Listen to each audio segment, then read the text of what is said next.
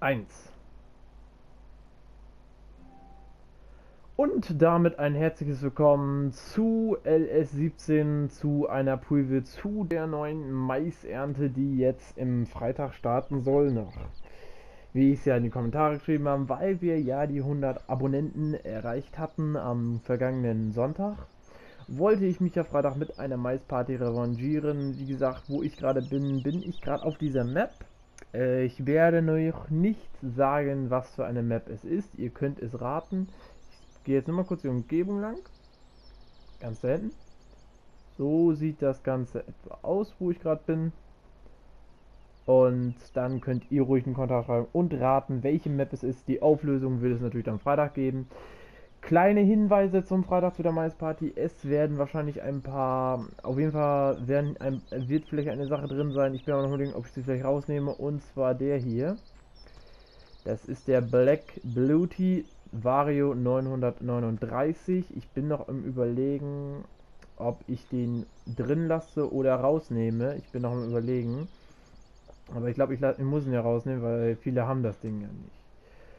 Deshalb kann sein, aber drin ist oder nicht. Den würde ich dann nur ein Silage im Einsatz nehmen, damit ihr da Bescheid wisst.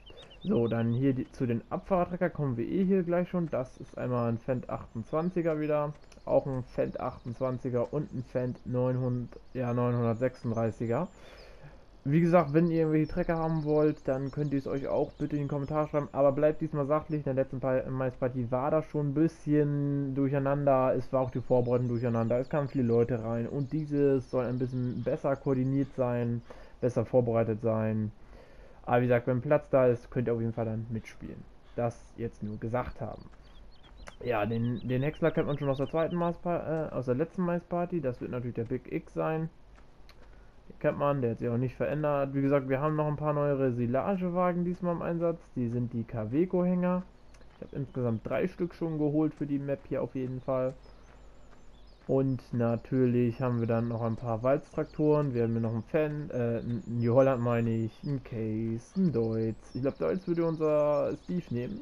Äh, er weiß schon, er wird sich bestimmt dann angesprochen, wenn er das Video guckt. Und ja, natürlich Deutz Serie 7. Hier noch ein Auto momentan. Und natürlich haben wir noch, noch einmal, wir gucken nochmal, wenn natürlich, wird das ein Community-Map dann sein, wo ich dann vielleicht mal freitags oder Samstag irgendwie mal spontan für euch was mache, dann können welche mitspielen, mir mithelfen und so. Und ja, so auf jeden Fall ist momentan der ganze äh, Stand auf jeden Fall. Wie gesagt, einfach gerne in die Kommentare schreiben, wer mitmachen möchte. Wir gucken, wie das Ganze wird. Ähm, es werden vielleicht auch ein paar Moderatoren im Chat sein am Freitag auf jeden Fall, das weiß ich jetzt schon. Weil das war schon gestern, äh, an der einen Freitag konnte ich gar nicht wirklich auf die Nachrichten alle eingehen, weil es war ein Durcheinander. Es war erst das Problem, dass es unkoordiniert war. Und das soll diesmal nicht passieren. Wie gesagt, wir schauen einfach mal, wie wir es am besten machen.